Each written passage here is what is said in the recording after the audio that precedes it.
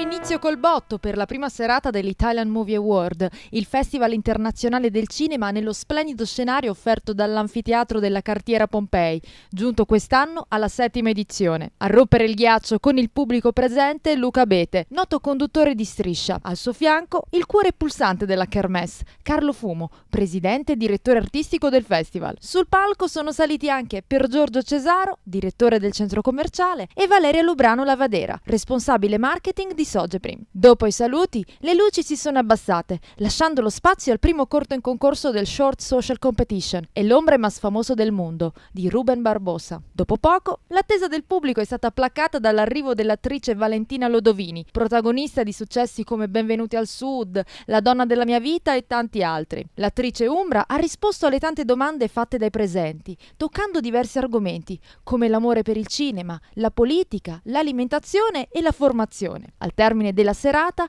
Lodovini ha ricevuto il premio Vitruviano d'Argento da Edmondo Gallo, direttore di Tecnoscuola. Subito dopo, l'esibizione della giovane lirica Elisabetta Vilni e la proiezione del film Ma che bella sorpresa. Valentina Lodovini, ospite d'onore della prima serata dell'Italian Movie Award. Per te è un ritorno? Il pubblico l'ha accolta meravigliosamente. Sì, sì, davvero, è bellissimo quando è così, ti senti proprio sostenuta, no? Uh, durante il suo intervento abbiamo avuto modo di ascoltarla in diversi argomenti. Uh, quello che mi ha colpito di più è quando ha parlato di quanto sia importante studiare, quindi un bel messaggio per i ragazzi. Quando invece si parla dei talent, talent però che permettono ai giovani di essere visti, quindi una vetrina, un trampolino di lancio. Lei cosa ne pensa? Ma è un discorso molto delicato, dipende dalla qualità.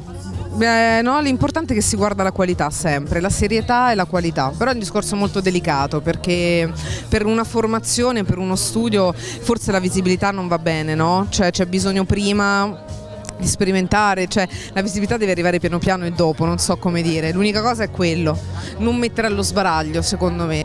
Stasera lei è stata anche premiata per il film Ma che bella sorpresa, dove interpreta Giada. Se potessi chiederle il personaggio che, che le è rimasto nel cuore tra tutti quelli che ha interpretato finora.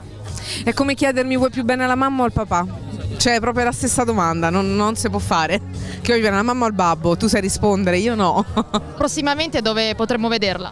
Guarda, adesso in realtà non al cinema, ma con Repubblica. Su Repubblica.it e su Repubblica sull'Espresso abbiamo fatto una docu-fiction sulla strage di Bologna del 2 agosto dell'80. Sicché a breve eh, questo ci sarà, questo a cui tengo molto perché bisogna coltivare la memoria, sempre.